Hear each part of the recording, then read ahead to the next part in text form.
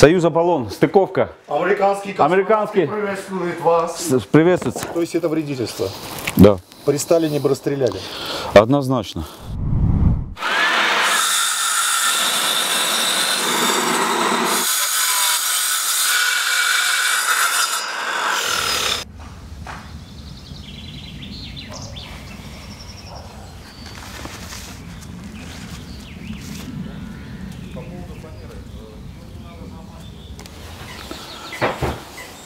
Да, это да, дом под усадку, временная кровля у него, да, стропила и закрыта. А вам продали 28 по 4,5 квадрата. Толщина 5,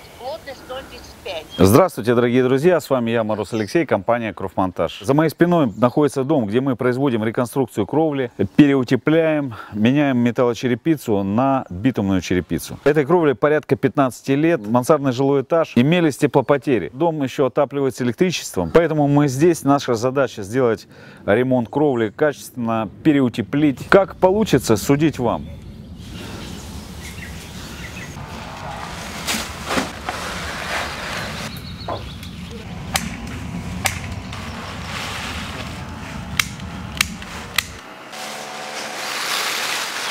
А вот это что, ребят?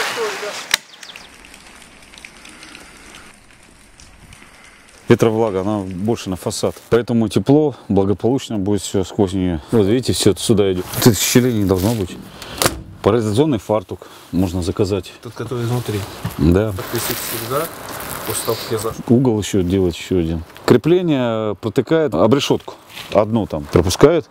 Ну, видимо. Ну вот, вы ответили. У него еще есть 30 сантиметров воздуха. Такое ощущение прям сам край. А также стропила будет вас попадать на это. Вы все равно вам придется сдвинуть либо сюда, сюда. Это утопия. Но на самом деле я бы сейчас сюда меньше всего внимания обращал. С кровлей бы разобрался. зашел. Вот она, да, и достаточно. Тепление 15. Вуаля. Куда прячет мусор? Ну, это упаковка от утеплителя. Ее надо выбрасывать. А зачем выбрасывать? Ее прям туда, в слой утепления. Бутылки коньяка пустые находили. Но Всякое они было. плохую работу там делают, эти. Ну, конечно, конечно, это же не утеплитель. То есть это вредительство. Да.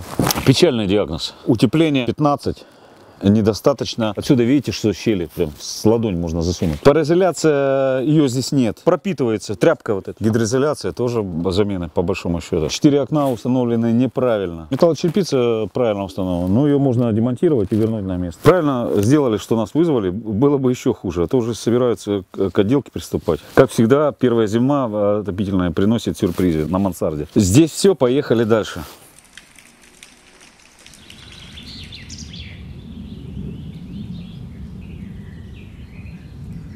Пригласил мой подписчик. Желаю всем фанатам Кровмонтаж так жить. Всем желаю, ребят. И звоните мне, я буду приезжать вам ремонтировать. По порядку. Водосток, стыки проклеить. Дальше. чтобы сюда уходило.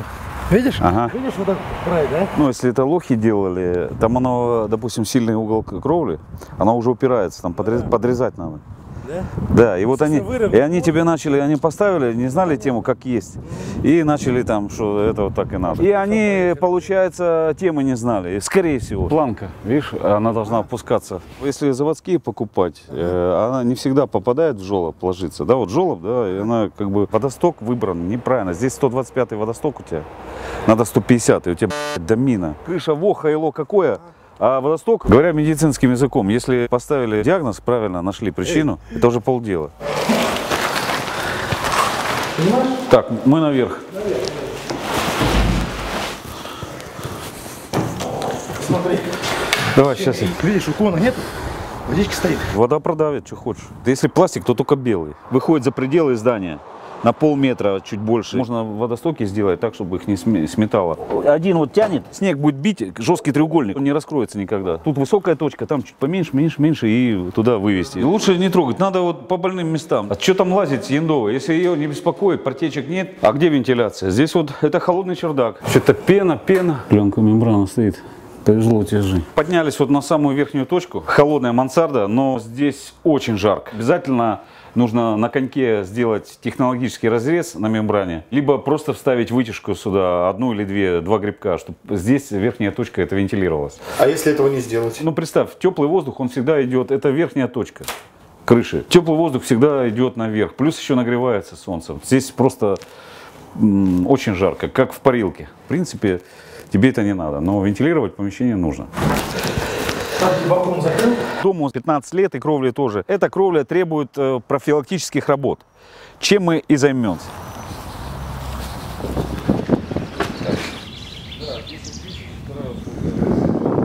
Кровельный материал там какой планируется у вас?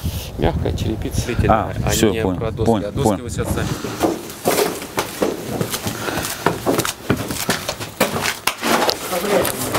А на леса как выйти? Вот эту они уберут.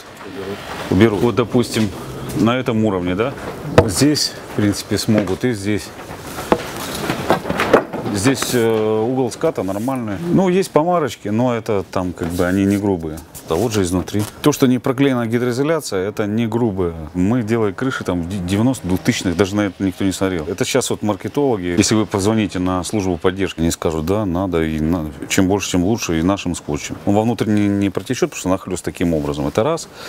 Проклейка делается для того, чтобы, когда станет утеплитель, при вентиляции, вот этот сквознячок, который будет там в бруске, он не подхлопывал холодный воздух. Правоуплотнитель. Это тоже не грубая ошибка. Если у вас битумная черепица, вот вам не страшно. Дабы они не запивались вот этой строительной пылью. Вот оно же вот так, вот так вот идет под этой, да, гидроизоляцией, там Надо полметра сюда и полметра. Вот забрались на леса дома. Он весь окутан деревянными лесами. Понятно, что лес не первый сорт, но Учитывая, что пиломатериал сейчас очень подорожал, ну вот закончат кровлю, работы по фасаду, что с этим лесом делать? Я к тому, что нужно иметь в своем арсенале леса, сборные, э, туры и так далее. Стоит раз вложить леса, а я вас уверяю, они себя оправдают. Леса тоже, их надо где-то хранить, значит иметь склад. Это дополнительные издержки. Проще попросить заставить э, заказчика из его средств за 150 тысяч купить пиломатериал, и вы на коне тут залезли, а потом он остается с этим мусором не знает, что делать. Я могу понять людей, которые приезжают сюда на заработки в столицу, да, естественно, леса они не могут с собой привезти, вот работают с тем, что есть. Но вот 150 тысяч уходит на вот такие. Это за ваш счет. Организация строит крышу. И заказчика появились сомнения. И вот я сейчас поднялся на кровлю, смотрю, сразу при беглом осмотре отсутствует капельник конденсата. Говорят, потом, а, ну, я вижу, уже надо монтажкой поддевать вот этот брусок монтажкой, всовывать. Что значит потом? Но это уже геморрой. Надо делать сразу. Тест-драйв будешь делать? Ты- да. Допустим, идет дождь, смоделируем дождь. Выдержит и яндовая такой тест.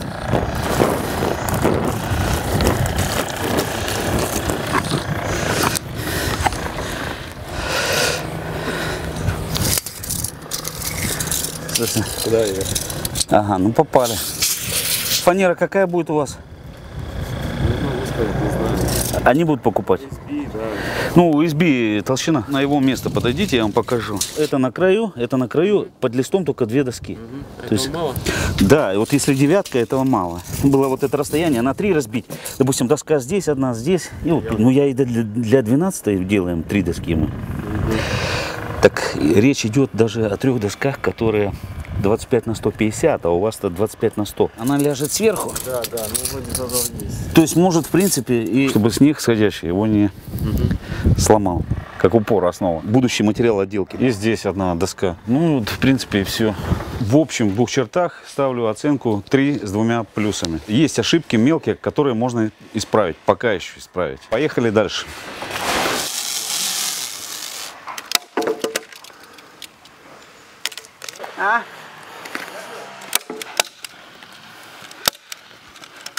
Металлочерепица здесь шведская концерна CSIB, полиэстер, где-то ей лет 15, значительно выгорела. На этом участке был нахлест. Как разнится оттенок? Это вот был на солнце, это вот в тени. Металлочерепица по толщине здесь где-то 0,4